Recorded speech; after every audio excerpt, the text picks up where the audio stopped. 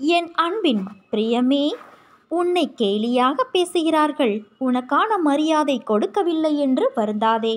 எல்லாவற்றிற்கும் நிச்சயமாக காலம் பதில் சொல்லும். உன்னோடு நான் இருக்கிறேன் என்றும் இருப்பேன். உன்னை ஒருபோதும் தாழ்ந்து போகும்படி உன் சாய் தேவா விடமாட்டேன் என் தங்கமே. இந்த உலகில் ஒருவர் எந்த மூலையில் இருந்தாலும் சரி உள்ளம் முருகி மருகி சாயிநாதா என்று கண்ணீர் விட்டு என்னிடம் சரணடைந்து விட்டால் நிச்சயமாக அவர்களது பிரச்சனை தீரும்.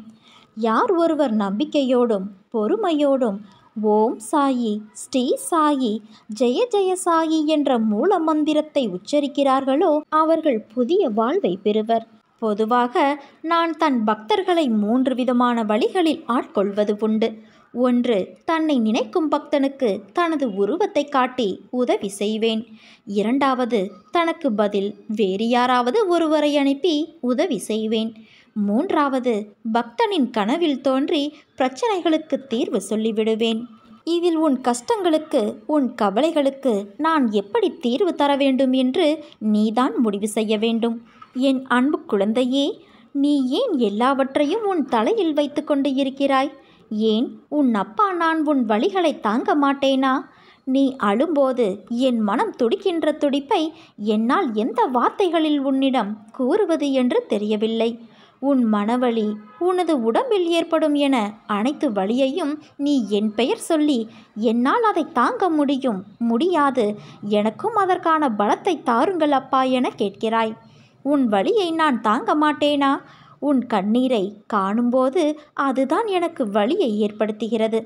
உன் பெயர் சொல்லி என்னால் எப்படிப்பட்ட கஷ்டம் தரும் சூழ்நிலைகளையும் தாண்ட முடியும் என்று நீ கூறும்போது நான் உனக்கு எப்படி உதவி செய்யாமல் இருப்பேன்? வழி தாங்காமல் சில நேரம் நீ கதறும்போது என்மேல் கோபம் கொண்டாலும் அது உன் மனதிலிருந்து வருவதல்ல. அதன் பிறகு என்னை மன்னித்து விடுங்கள் என்று நீ கேட்டு என் முன் நிற்கும்போது என் மனம் உன்னை எண்ணி கலங்குகிறது. என் பிள்ளையை இப்படி விதியால் படும் அவஸ்தைகள் என் முன் இப்படி நிற்க வைக்கிறதே என்று. நீ துவண்டு போக மாட்டாய் என் தங்கமே. என்ன கஷ்டம் வந்தாலும் நிமிர்ந்து பறந்து வானமாய் மேலோங்கி நிற்பாய். பல பேர் அவரவர் பிரச்சனைகளுக்கு விடிவு தேடி ஒரு நிரந்தர தீர்வு தேடி என்னை காண்பதற்கு காத்திருக்கும் நேரத்தில் நான் உனக்கு அனுமதி அளித்தேன். ஏன் தெரியுமா? பல மைல்களுக்கு அப்பாலிருந்து உன்னை அழைத்து வந்திருக்கிறேன். நீ பல இன்பத் துன்பங்களை தாங்கிக் கொண்டு உற்றார் உறவினர்கள் பேசுவதை செவி கொடுத்து கேட்டு அதை கொஞ்சம் கூட பொருட்படுத்தாமல் அவர்களுக்காக உன் சுபாவத்தை மாற்றிக்கொண்டு ஏளனம் செய்தவர்கள் பல பேர் இருந்தும் தன்னம்பிக்கையோடு ஒவ்வொரு பாதையாக அவசரப்படாமல் பொறுமையோடும் சினமில்லாமலும் விரக்தி இல்லாமலும் தான் என்ற அகந்தை இல்லாமல் நீ கடந்து வந்தாய். இதற்காகவே உன்னை நான் தேர்ந்தெடுத்தேன். உன்னுள் இருக்கும் நல்ல ஆத்மார்த்தமான செயல்களுக்காக உனக்கு அனுமதியளித்தேன். எனது அனுமதியின்றி எவரும் என்னிடத்தில் சுவாசிக்கக்கூட முடியாது.